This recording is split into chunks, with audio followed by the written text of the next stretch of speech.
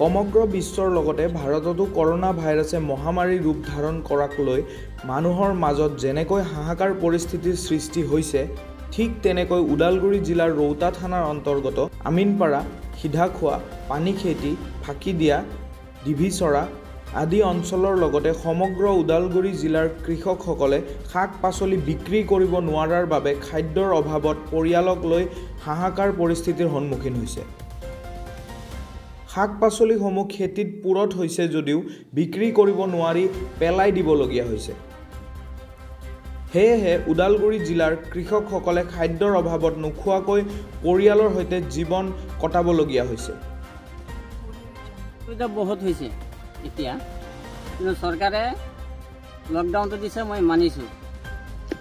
তাৰপিছত এতিয়া ছয় বিঘা মাটি মই জিকা খেতি কৰিছোঁ। জিকা খেতি কৰি পেলাই আপোনাক তিনি লাখ তিনি লাখ টকা আপোনাক ধাৰ কৰিছোঁ বেলেগৰ পৰা। কৰি পেলাই খেতিখিনি কৰিছোঁ। কৰাৰ পিছত এতিয়া মই জিকা খেতি শাক এনেকা এনেকা জিকা খেতি হৈছে এইবিলাক। জিকাটো মই বিক্ৰী কৰিব পৰা নাই বুঢ়া হৈ গ'ল। এতিয়া কি কৰিম? অহন উপায় নাই আমাৰ। এতিয়া চৰকাৰেতো চৰকাৰে এতিয়া আপোনাক সুবিধা মোক দিয়া নাই। যে বেছিভাগ কাৰণ অলপ সুবিধা দিছে দিয়া নাই। কিন্তু এতিয়া যদি চৰকাৰে যদি মোক সুবিধা নেদে এতিয়া মোৰ বাধ্য হ'ল মৰাৰ নিচিনা বাধ্য হৈ গ'ল। মই মৰি যাব খুজিছোঁ এনেকুৱা হ'ল মোৰ। এতিয়া আপোনাক খাব পৰা নাই চৰকাৰ আপোনাক কিবা সাহায্য দিয়া নাই মাল বিক্ৰী কৰিব দিয়া নাই। এতিয়া মই কি কৰিম? এতিয়া মৰা অৱস্থা হৈ গ'ল মোৰ। মই মৰিব বাধ্য হৈ গ'ল। চব এতিয়া ল'ৰা ছোৱালী লৈ পেলাই একেলগতে মই মোৰ মৰিম। এতিয়া আপুনি চৰকাৰলৈ কি অনুৰোধ কৰিব যে সেইটো মই কৰিম এতিয়া যে মোৰ চব্জি খেতি জিকা কেৰেলা আপোনাৰ এই কিবা ভৰ্তি কবি এইবিলাক চব চব্জি আছে। এইবিলাক কোনো বিক্ৰী কৰিব পৰা নাই।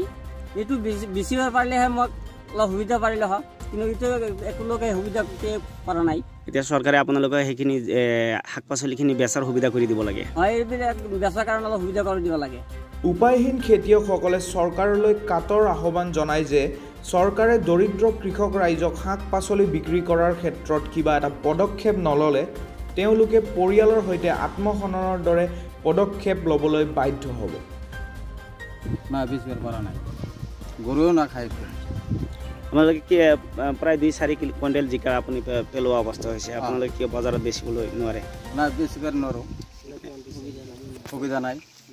লকডাউন দিছে এতিয়া যাবাৰ নৰো আমি। গ'লে আৰু পুলিচে কোবাই। এতিয়া আপোনালোকে চৰকাৰলৈ কি অনুৰোধ কৰিব? চৰকাৰৰ লগত আমি অনুৰোধ মানে আমাৰ এই শাক চব্জিবিলাক কৃষকৰবিলাক এইটো চাব লাগে অলপ। বেচাৰ সুবিধা কৰি দিব লাগে। এটা সুবিধা কৰি দিব লাগে। আপোনালোকে এই যি একৈছজনীয়া লকডাউন দিছিল সেই। লকডাউনত আপোনালোকে ঘৰৰ পৰা ওলাব পৰা নাই। নাই আপোনালোকে। পৰিয়ালবিলাক কেনেকৈ চলাই আছে?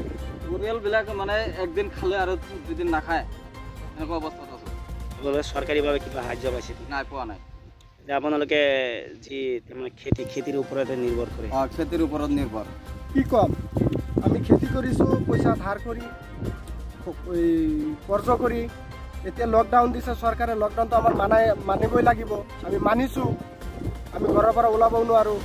এতিয়া খেতি পথাৰ কৰিছোঁ এতিয়া কিবা পইচাখিনি আমাৰ খেতিত খাটাইছোঁ এতিয়া যে আমি খাম এইখিনিয়েতো মোৰ ঘৰত নাই। কিবা চৰকাৰে যদি কিবা সুবিধা কৰি দিয়ে মোক এইখিনি মই বিক্ৰী কৰিব পাৰিলোঁ হয়। চৰকাৰেতো মোক কিবা সুবিধা দিয়া নাই চব্জিকেইটা বিক্ৰী কৰিবৰ কাৰণে। চাওকচোন ফুলকবিটো কেনেকুৱা হৈছে? আপোনালোকে পৰিয়াল কেনেকৈ পোহপাল দি আছে? কেনেকৈ দি আছোঁ মানে তাৰমানে জুজুল এতিয়া পাঁচ টকা আছে এক টকা খাইছোঁ। এতিয়া পঞ্চাছ টকাৰ জেগাত এতিয়া পাঁচ টকা খৰচ কৰিব লগা হৈছে। দিনত এবাৰ খাই পাৰ কৰিছোঁ দিনখিনি।